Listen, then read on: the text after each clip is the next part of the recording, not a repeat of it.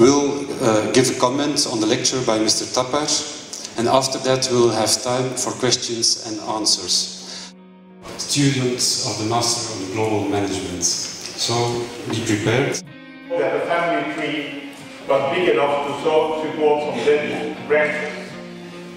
He told the reporter and he said, I thought I stayed better in the United States and find my own destiny rather to that to be another dead branch.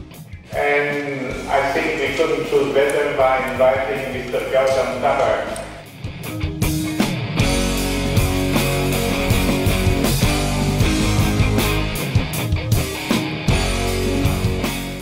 Inspiring your capital. And that fact, next 25 years. And the second commitment I made was that I need to put a structure in place that uh, if my children happen to be screw-ups, right, and there's uh, genetically every possibility of that, okay, that they cannot screw up the way this, this government works.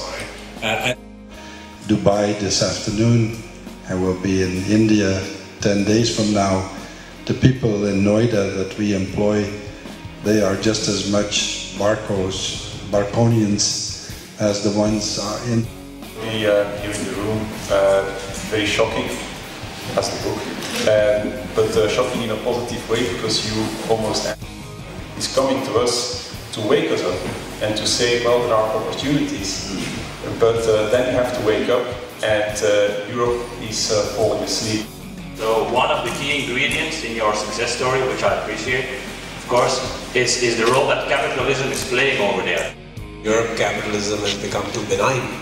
It just doesn't have that energy that it needs anymore to go out and get things done because large European companies are too protected in their home market. They don't need to do anything. The government gives them enough leeway to grow.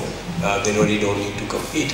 Uh, and then you get dynamic capitalism like you get in Israel or in India where everybody wants to make a buck and they don't want to wait for the next pie. Uh, Most of our investment money in the places where the growth was not.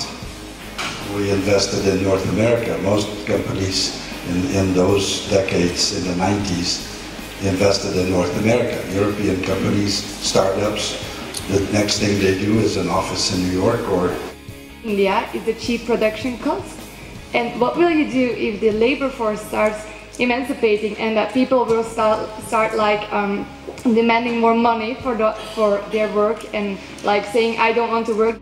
advice would you give to politicians to get out of this uh, mess? Has stressed a big importance on entrepreneurship in general and how it's, it's going to make Europe grow. So how do you feel that Belgium, how do you suppose that Belgium can promote entrepreneurship among its young